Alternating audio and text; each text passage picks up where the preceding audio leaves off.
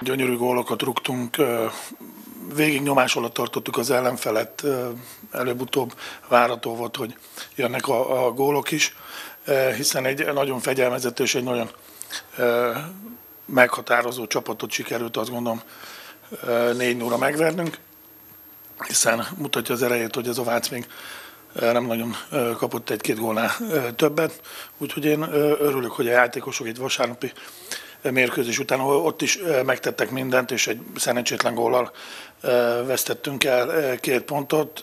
Rá, három napra ragyogóan futballoznak, kiszolgálják a közönséget, azt gondolom, mind a tévé előtt, vagy akik kilátogattak ide. Úgyhogy én ezért nagyon büszke vagyok a srácokra, és gratulálok nekik, és a Vásznak pedig sok sikert kívánok tovább. A nagy probléma az az első fél volt, hogy amit kértem a játékosoktól, abból semmit nem láttam. Nem mertünk játszani, mindenki menekült vissza, egy-két ember ugye most játszott először ilyen közegbe, úgy látszik, hogy nem bírta elviselni a terhet.